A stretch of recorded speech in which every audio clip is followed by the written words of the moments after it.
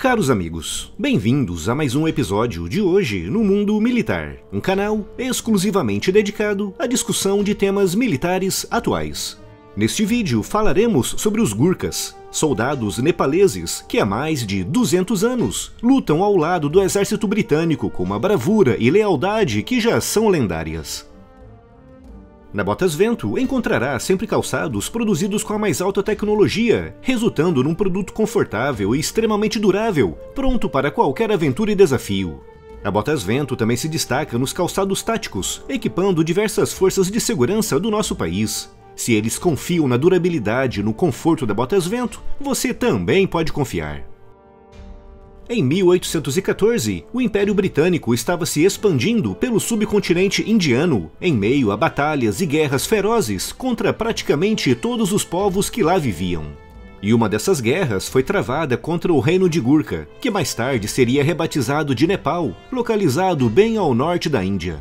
A guerra, que durou de 1814 até 1816, foi terrivelmente custosa para ambos os lados, com baixas muito elevadas o que levou à assinatura do chamado Tratado de Sugauli, com ambos os lados aceitando uma paz de compromisso na região.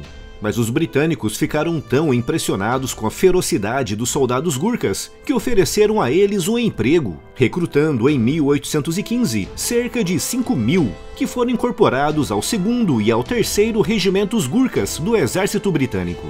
Inicialmente lutaram pelo exército da Companhia das Índias Britânicas Orientais, combatendo contra incursões estrangeiras nas suas fronteiras. Mas em 1857, quando arrebentou a chamada Rebelião Indiana, os Gurkhas decidiram manter-se ao lado dos britânicos. E por isso, quando os rebeldes indianos foram derrotados, os Gurkhas tornaram-se parte integrante do novo exército indiano britânico um exército que existiu de 1857 até 1947, o que lhes garantiu a participação nas maiores e mais terríveis guerras do século XX.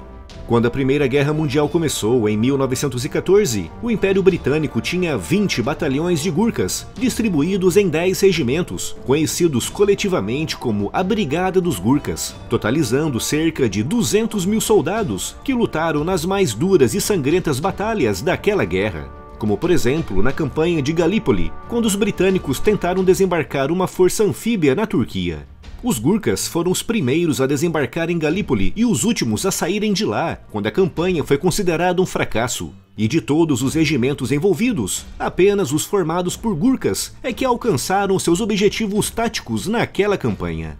Na Segunda Guerra Mundial, o número de batalhões de Gurkhas aumentou de forma significativa, chegando aos 40, com um total de 250 mil homens, e foram dos poucos que lutaram em praticamente todos os teatros daquela guerra. Lutaram com tanta distinção que nenhum grupo étnico recebeu tantas medalhas de bravura como os Gurkhas, com mais de 2.700 tendo sido distribuídas. Mas toda essa bravura veio com um elevadíssimo custo, com mais de 32 mil baixas. Um dos casos mais incríveis de bravura gurkha na guerra foi do soldado Lahriman Gurung, que em maio de 1945 estava destacado no 4 Batalhão do Exército Indiano nas florestas de Myanmar. Gurung estava responsável por garantir um dos flancos do seu pelotão, e na noite entre os dias 12 e 13 de maio, após lançar de volta para os japoneses duas granadas, a terceira explodiu em sua mão direita, quase decepando seu braço. Durante mais de 12 horas, recarregando seu fuzil apenas com a mão esquerda apoiado na borda da trincheira, Gurung enfrentou todo um batalhão japonês. E na manhã seguinte, quando finalmente chegaram para substituí-lo, 31 japoneses estavam mortos exatamente em frente à sua posição. Gurung teve que ser retirado à força e contra sua vontade do seu posto, exigindo primeiro que os seus dois companheiros fossem vistos por um médico. Recebeu a Victoria Cross, a maior honraria militar britânica, e morreu em dezembro de 2010, aos 92 anos, em Londres.